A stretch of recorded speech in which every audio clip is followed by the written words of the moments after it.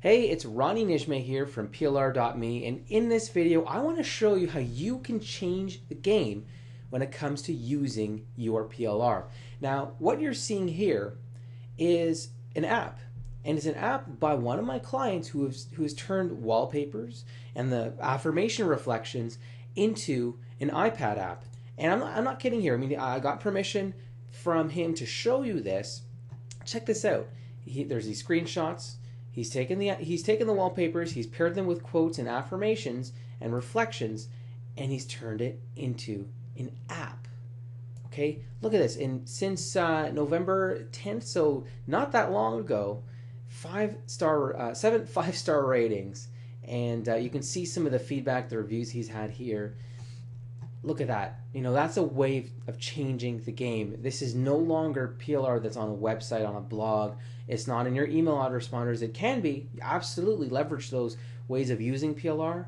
But check this out using private label content to create an app, to create an app that's valuable, that's going to help people. I mean, we know that these inspira- inspirational messages and the, these reflections help people. This is yet another way of changing the game. So, how can you change the game when it comes to using your private label content? How can you turn affirmations and reflections and articles and ebooks into some other format, into some other medium that reaches people and helps them, but also makes you money and earns a living at the same time.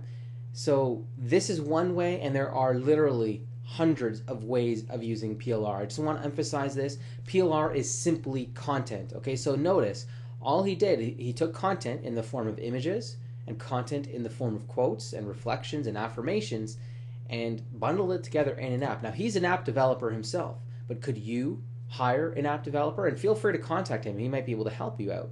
Um, and you can find his find his information here, and there's his website and so on. Um, but hey, could you do this?